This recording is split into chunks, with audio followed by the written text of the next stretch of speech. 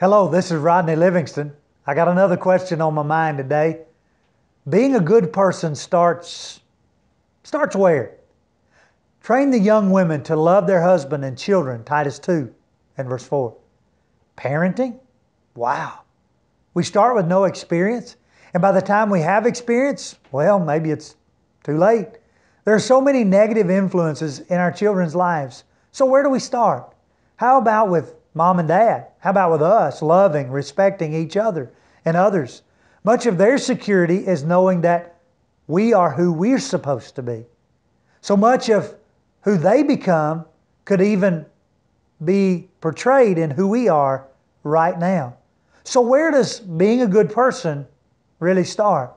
I know this is difficult, and being a good parent all the time is probably impossible because there are tough times.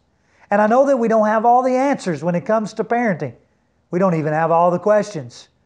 But God help us. God help us to be who we're supposed to be so that others can see that. Not just our children, but others around us. Where does being a good person start? Starts with you today, being what God wants you to be. And that's the answer that really matters for today in that minute from the Leoma Church of Christ.